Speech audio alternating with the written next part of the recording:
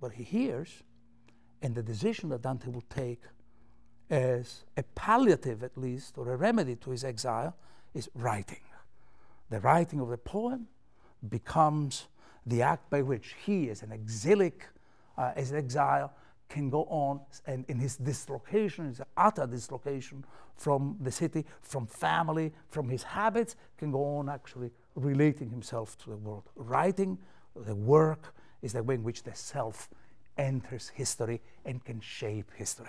It's not Aeneas, it's not Phaeton, it's not going to be uh, the Hippolytus, it's not even Cacciaguida's own account of his own grandiloquent connection with the world of history. The way in which the Dante self enters history is through this idea of, of poetry, of a writing that is now also described in terms of food, as you can see here. First of all, with the, the bitter herbs, and now the voices gives a first taste.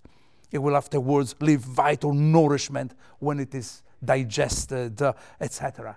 Uh, words, words, first of all, let me just clear the air here. No one, no one of you has these misconceptions about poetic language that somehow it's uh, some sort of faint uh, symbol divorced from reality. Dante goes beyond this idea of uh, the relationship of language to representation. That was the problem of the chronicles. And they gave fa fairly faithful accounts, and he can give fairly faithful accounts. That, that, that's the mode of a certain historiography. What Dante is saying is that words are things in themselves, that words, words are food that change, and being things, they have a kind of solidity and have a sort of truth value in and of themselves. This is really the biblical language that resurfaces.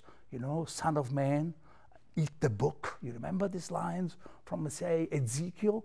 This is the, exactly the kind of language that is returning here, and which Dante bends, this sort of language, to define himself in relationship to his future project of writing the poem, and that project of writing the poem is his way of establishing his place literally in, which is a utopian place in history. I say utopian because it doesn't have to be understood in any local sense.